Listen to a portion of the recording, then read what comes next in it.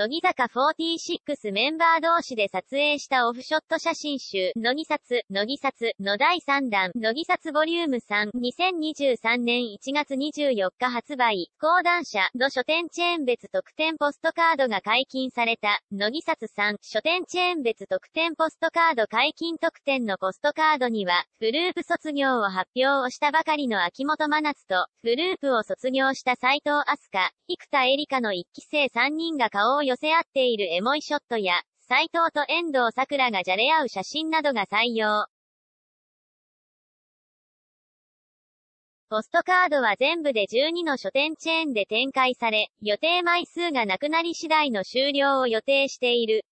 乃木坂46オフショット写真集、乃木撮、同作は2017年2月から写真週刊誌、フライデーに連載されている、乃木撮をまとめたもの。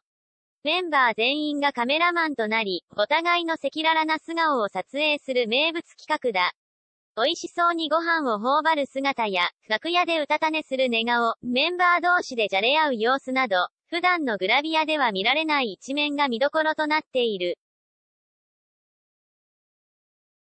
バル、2018年6月に発売された第1弾写真集、乃木札ボリューム1は累積売上50万部を突破しており、乃木坂46写真集の最大ヒットシリーズに、